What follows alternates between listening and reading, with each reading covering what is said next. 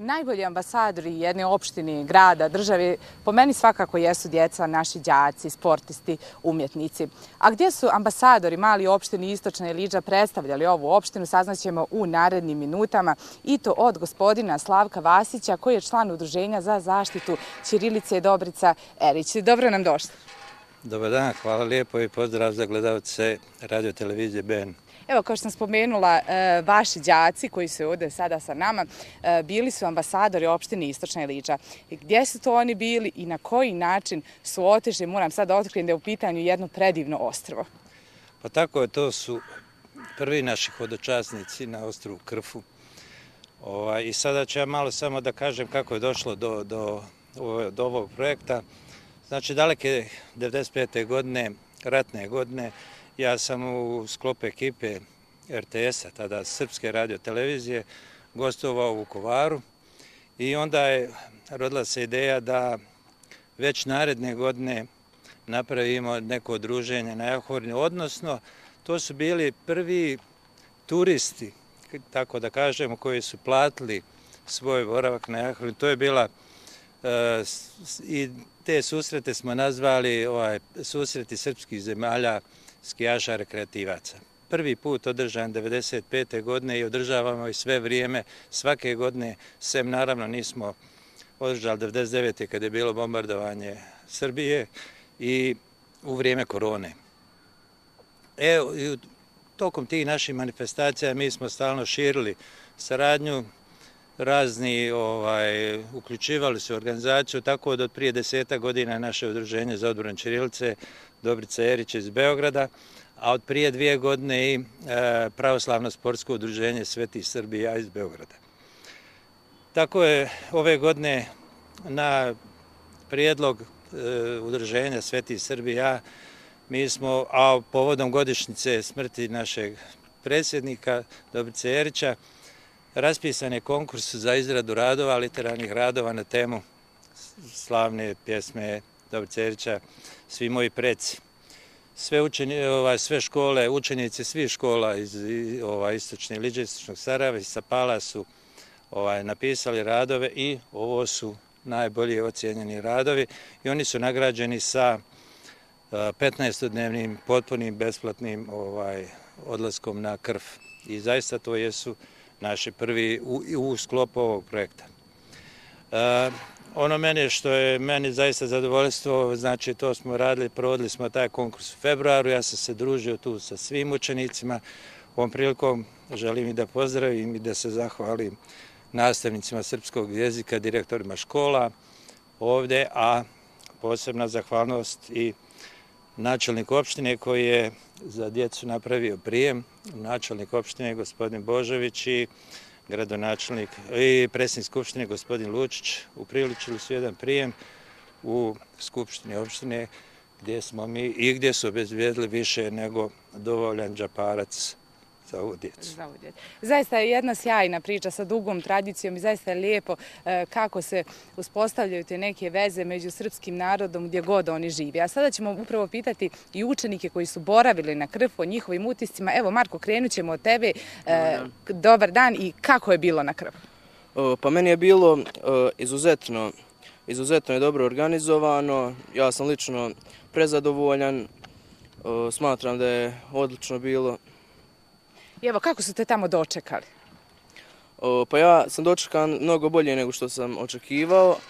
O, kamp o, i kamp i sve, sve što se nalazilo u njemu bilo je o, Možda li ispoče? Možda Dobro organizovano.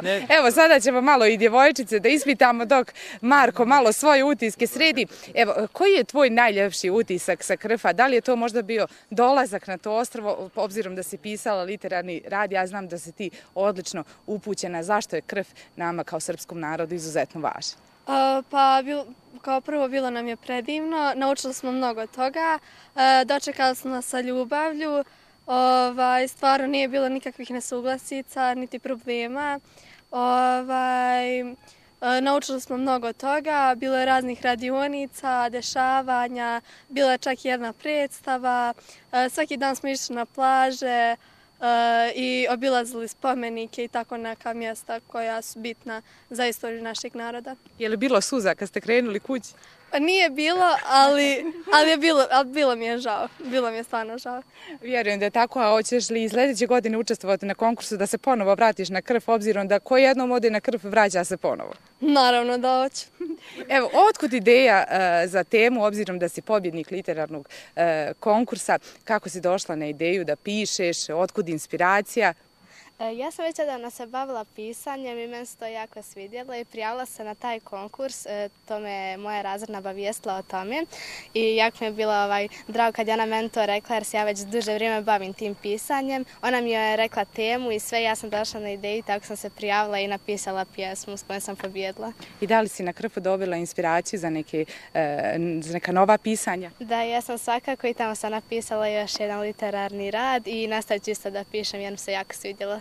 Evo, pored vas iz Istočne Iliđe, koliko i odakle su sve još e, dječica dolazila i družila se sa vama tokom tih, moram da naglasim, 15 dana da ste bili na Rajskom ostru? Da, drugar, stvarno bil super, bil su iz e, iz Beograda, iz Kotor Varoša, tamo iz Crne Gore, bili su iz Užica, iz Banovaca, svuda, znači sa, svakih, sa svake strane mi smo se iskupili i jako nam je bilo zanimljivo i društvo nam je odlično bilo, tako da ja mislim da bolje i ne može. I si, ti sigurno planiraš da se vratiš na krv? Da, planiram sljedeće godine da se prijavim na konkurs i da se vratim. Ja ne sumnjam da ćete ponovo da pobjedite obzirom da ste vi tamo prikupile neke ideje, ili tako? Da, ima dosta, dosta onako ideja jer ima dosta spomenika i um, dosta smišno da obilazimo ovih um, spomenika, pa, da. Da, spomenika istorijskih ovih mjesta, tako da se tu nađe dosta inspiracije. Koji je tvoj najupečatljiviji uh, neki doživljaj sa krva? Uh, ima ih dosta, je li tako? Ima ih dosta, da. Evo da pa- ne razgovaramo samo o tim nekim istorijskim e, činjenicama, zaista to onako budi emocije kod, ja vjerujem i kod djece, ne samo kod odraslog čovjeka. Kakve su plaže na krvu? Pa plaže su bile baš onako čiste i lijepe baš bilo dosta i ljudi i turista. Jesi li ti plakala kad si krenula kući? Da. znači, ti očekujemo da ćeš se i ti vratiti na kraj. Da, da.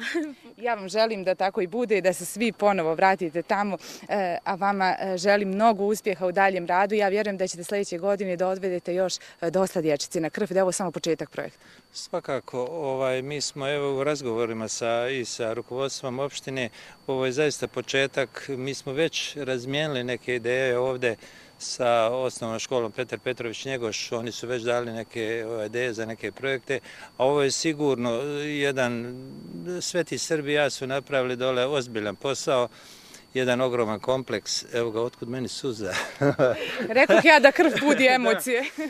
Ovaj, tako da ja sam isto presrećan što, što, što sam učestvovao u ovome i bit će tu još i finansijski zahvata, to izgradnji, Ideja je da što više, pa skoro svako naše dijete, da, da sazna, jer vrlo malo znamo iz tog velikog rata, svi mi, evo i mi stari, su lunci i znamo da je to dosta ljudi s ovih prostora učestvovalo. Sve ćemo mi to sada da polako i mi da pronalazimo ovaj, neke naše pretke koji su tamo učestvovali i zaista ovaj, ovo vjerujem da će biti i sigurno hoće u narednom periodu očekuje nas dole još. Ja pretpostavljam da će neko od ovih naših kasnije biti promotor, pošto su prvi išli dole i nadam se da će voditi neku, neku mlađu, mlađu generaciju. Sigurno je da hoće i to će dočekati sa oduševljenje. Hvala vam na svim informacijama i e, hvala vam što ste nam prenili zaista u jednu lijepu priču.